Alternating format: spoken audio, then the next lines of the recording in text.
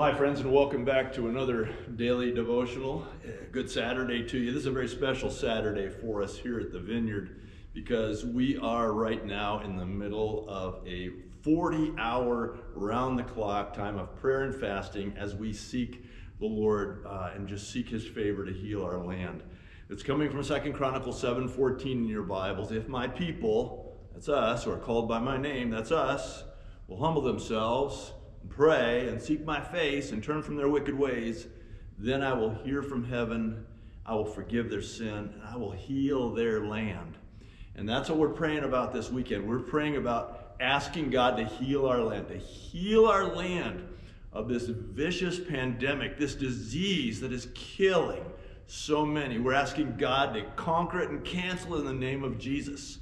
We're also asking God to come and bring healing to the divisions in our land, especially among believers. And we just we're just praying for God to come and bring healing. The scriptures show that God wants to. But he said, if my people who are called by my name will humble themselves, pray, seek my face, and turn from their wicked ways, then will I. And so God wants to. We just need to come to him, humble ourselves, seek his face, pray, repent. Uh, if you haven't already joined us in this, uh, in this prayer time this weekend at the Vineyard, I hope you will.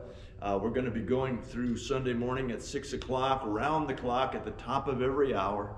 Somebody's going to step up to the microphone here and lead in a time of prayer. And the rest of the hour will just be free flowing prayer throughout the property. And we're going to do that for 40 hours.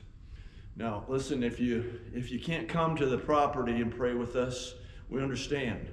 But we'll also be putting all of this on our digital platforms so that, that, that you, during that time, you can come and you can join us and, and you can enter into that time of prayer with us that God would heal our land. And listen, I believe that Sunday morning is going to be amazing because we just spent 40 hours of prayer and fasting before the Lord where, where so many just came and called on the name of the Lord. I'm just really looking forward to Sunday morning and the move of the Lord among us. I hope you'll come and join us either in person or virtually uh, in that as well. Listen, I need to tell you, I'm going to take a break from making these devotions for a little while, for a few weeks, for a couple reasons. One is I got something personal I have to take care of, but second, because the model of Jesus couldn't be more clear in that when he did some the powerful stuff, when he had power encounters, if you will, it was very common for him to to go off and to be by himself to pray. And and I have always tried to follow that model. I I think if Jesus had to do that, certainly a pastor should do that. And I'm I know that in this 40 hours of prayer and in, in the services that follow on Sunday morning, I'm really expecting for a huge outpouring of the Holy Spirit, which will require me then to do what Jesus did and just go off and, and pray and recharge so that I can continue the ministry God has called me to here at the Vineyard. But there's good news in that. There's very good news in that in my absence, uh, two other pastors on our staff, Heather Fleck and, and Chase Smith, they'll be entering into the rotation of making these devotionals each day.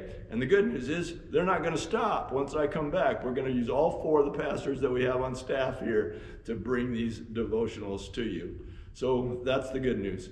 Hey, listen, I love you guys in the Lord, and I want to just re- remind you what we're doing here this weekend. I hope you'll come either in person or virtually and be a part of asking God to heal our land. God bless you guys. Remember, live by faith and walk in wisdom.